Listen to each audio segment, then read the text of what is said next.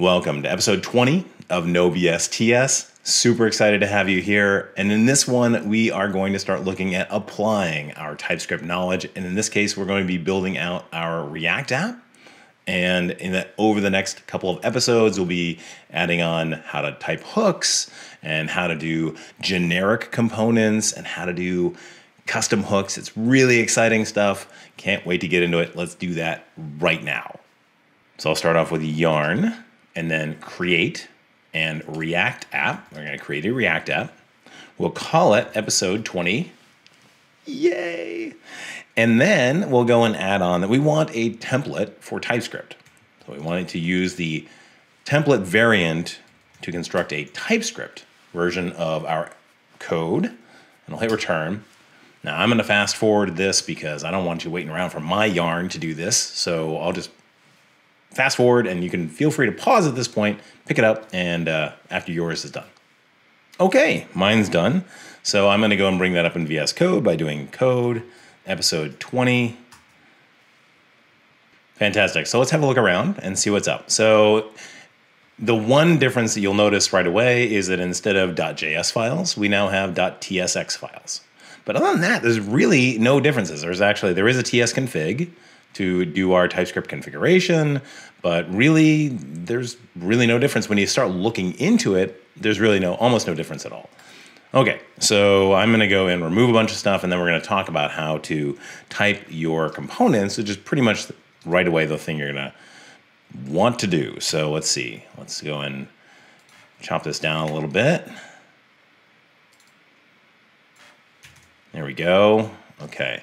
Now over in app.css, I'm just going to make this a little bit easier to read. Make the font size extra, extra large. Give ourselves some margin.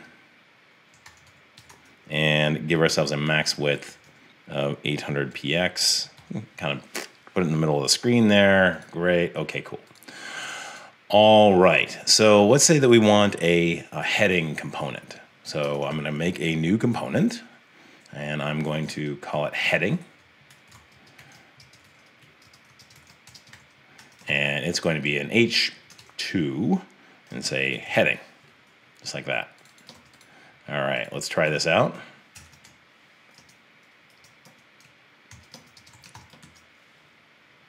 Okay.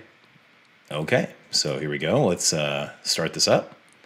I'll get rid of my sidebar over there. We don't need that. Perfect.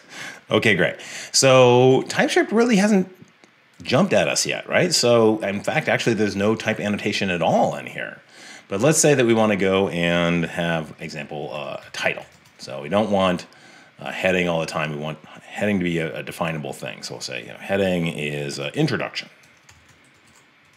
And right away we can see that this is complaining. It's telling us that, uh, let's see, the title string is not assignable to type intrinsic attributes, basically telling us that we haven't specified that we want a title on this. So it's doing some cool stuff, right? That's great. So the way that we do that is we could say, for example, props, right? And we'll say that it's got a title string. We know how to do that. That's that's basic object typing that we've seen timeless times in this series. Uh, and then in here, we're just going to do props.title. Okay, let's check it. Let's check it out. See how it goes. Oh, there you go. Bob's your uncle. Fanny's your aunt. Okay, so but this is not the way that most people do this, right? We want to destructure that, so we can just do title in here, and that's a little easier, like so, and that's perfectly fine. So it's, it, but that's just syntactic sugar. It's basically exactly the same thing. So now let's have like a, content div. So we want to have something that's got like a box. And we want that box to contain some child elements. So for example, uh, hello there. And we got to define box. And what we really want out of that is we want children. And we want to put that in a div. Right? But how do we type children? Well, you could actually do children react dot react node like that. And that's okay. Let's give that a try. Well, actually, let's let's go and add a little bit of styling to this, just so we can you know see something cool. Maybe we'll add a little bit of padding to it, and we'll make everything in there bold. You know, just so we we know that that's actually being applied. Oh, great. Okay. Hello there is bolded. Awesome. But there's actually an easy way to do this. So you don't need to worry about that. If you do react.function component and just leave it at that. And that actually defines children as well as a return type for us automatically, and it's the right one. Okay, so let's go and create a list component that has like a UL, LI type structure to it, but we want to give it a list of items. So how do we do that? Well, let's go and create a new list.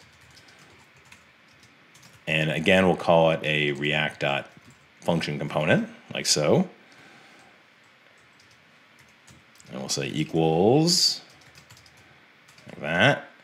And we for sure want a UL in there. And then we want a list of items, right? So going to have items.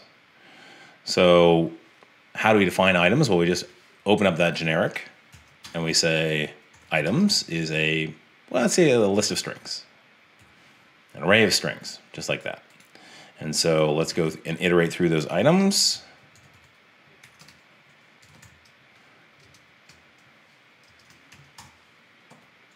And let's also do the index. And then we'll give an li for each one of those items, and a key with the index. Okay, cool. All right, let's give it a try here. So let's do a list and then give it items where you've got an array of, I don't know, one, two, and three. How about that? All right, sounds good. Let's save that out and see how we go. Hey, got it in one. All right. cool. So uh, this list, that's how you define the properties of the list. Let's talk about a few more in there. For example, like let's make these clickable. So I want an on-click method. So how am I going to do that? Well, I'd say something along the lines of on-click, and let's make it optional. You know, on-click question mark, so it's optional. And then what would it be if it was there? Well, it would be a function, which would take maybe the item for as an example, which is going to be a string, and then return void. Just like that. Cool. Okay. So here we go. We're going to go over here to onClick. And that is going to give us an event. Let's see. Let's do onClick then and fire off the item but it's telling us, and this is great, right? It's giving us our great type checking, and it's telling us that, uh, oops, I didn't get on click. Well, that's one thing for sure. So let's go and grab that. Okay, cool.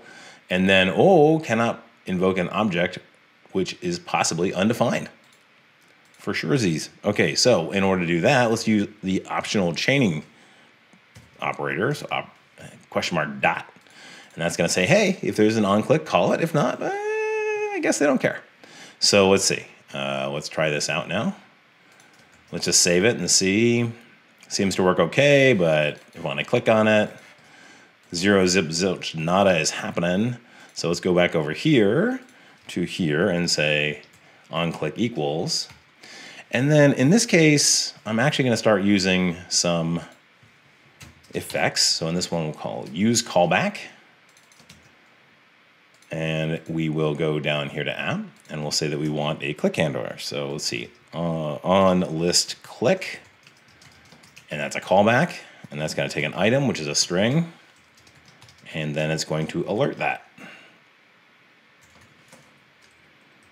Now, this is a an evergreen clicker. There's no dependencies on anything else, so our dependency array in this case is empty like that.